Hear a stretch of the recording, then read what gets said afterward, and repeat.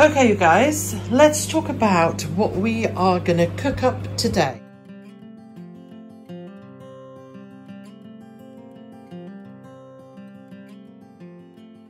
We are going to put the main oven on and make a roast.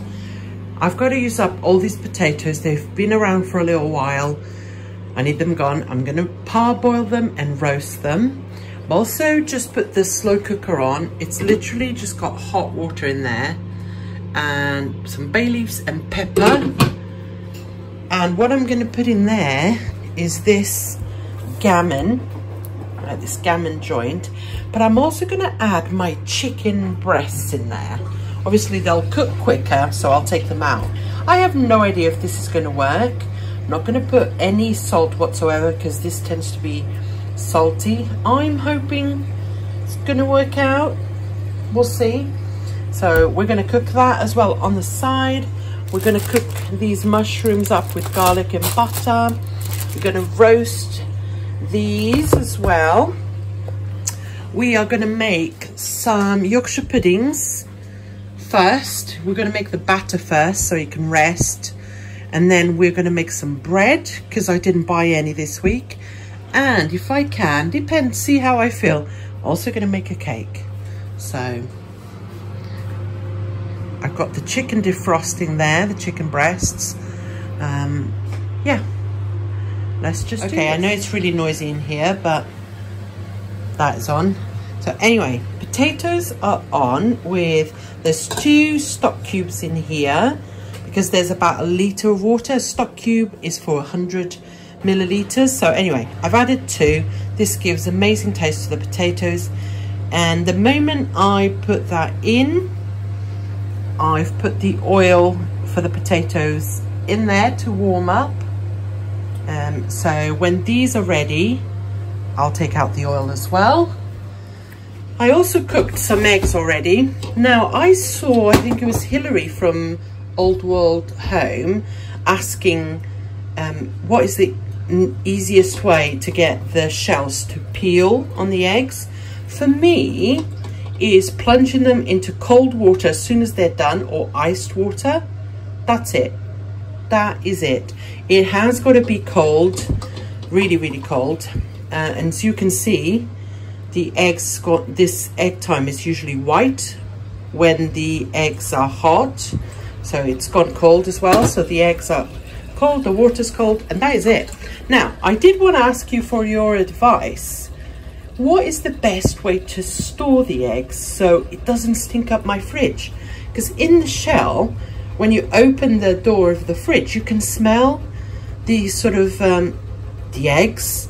Would I be better off peeling them and then putting them in a Tupperware? I don't know. Let me know if you've tried it. Let me know what you guys. think. I've just taken the oil out. I've done the potatoes. I gave them a little shake with flour. One of you told me to do it with an OXO cube, which I think would be amazing, but I haven't got any. So I just did it with flour, so they're nice and crispy. I'm just gonna put them in here. There you go, you can see the oil sizzling. I'm gonna put that in the oven. I'm also gonna put the broccoli. It's got olive oil, salt, and paprika. I've just made the bread. It's the milk bread that I make all the time. So I'm just gonna leave it on top of the cooker there. I'm sure that's not hot feels warm, but it's not hot. Um, so it can rise. And what I'm going to do now is tackle this washing up, um, especially that because I need to use that to make a cake. So yeah, let's do Okay, Yorkshire pudding time. I've just put a tiny little bit of oil in the bottom of the muffin tin. I'm going to put that in the oven to heat up this oil really, really hot. And I've mixed the Yorkshire pudding here. This is the BBC Good Food Show um, recipes like 70 grams of flour, 100 ml of milk, two eggs, salt and pepper. Done. Okay guys, so now we are going to make dessert. Now I said I was going to make a cake, but I've decided to do something else. In a pan, you melt sugar to make caramel. In the meantime, in a blender if you have one. I'm going to use my Thermomix. You, oh, put three eggs, a cup of flour, a cup and a half of sugar, 600 ml of milk and one tablespoon of butter. Blend it all together. Yorkshire pudding time.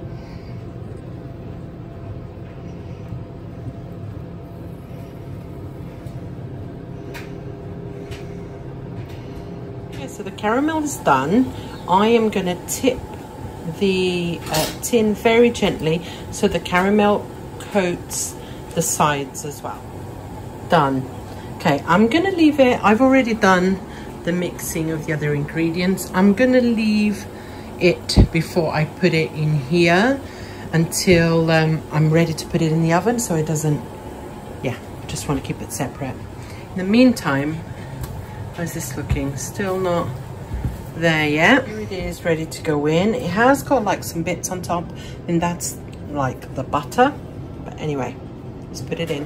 So if you saw my um, shopping video, I'm going to use this beef which is already done. I'm just going to put it on the plate and then pour gravy over it. And that's going to warm it up. Um, I might just pop it in the microwave for a few, few seconds.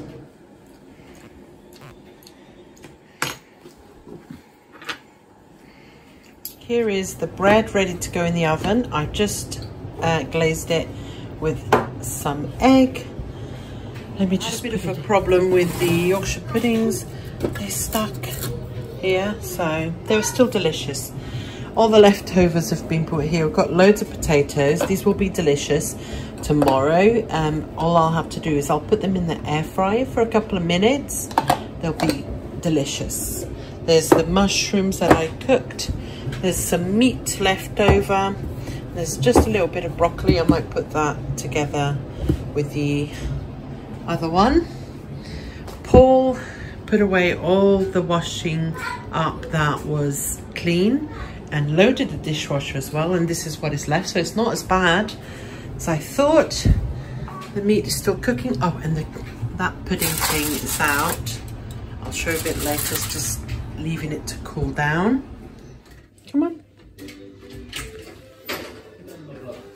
Okay, I forgot to show you guys. Here's the chicken. Um, I know it looks pink again, and it does actually look a bit pink in reality. I don't know if it got that from the ham, but it's very, very cooked. Very fully cooked. I actually cooked it a bit too long. I forgot about it, to be honest. And I've just taken the ham out. Just cut off this bit of fat there. I'm going to leave it to cool for a bit and then I'm going to slice it, put it away in there. And of course, I am going to keep this stock. It's got like, I might strain it so it's a bit clearer and it doesn't, I don't know actually. Usually I don't bother, so I might not. Um, yeah, I'll probably end up freezing that. Just going to leave it to cool completely and then sort that out. So I forgot to show you the bread.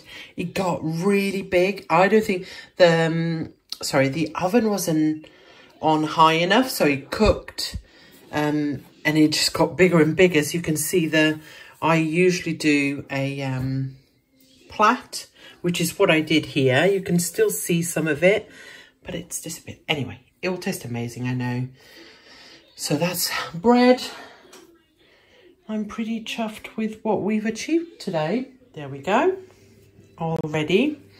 I'll leave it again to cool on the side, covered, and then it will go in the fridge tonight. So I forgot to finish that video, you guys. So Ozzy and I thought we would come over, hi, and say thank you for watching.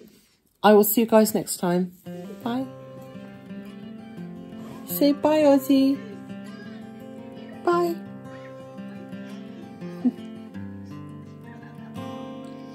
Are you so gorgeous? Hi. Yeah. Hi.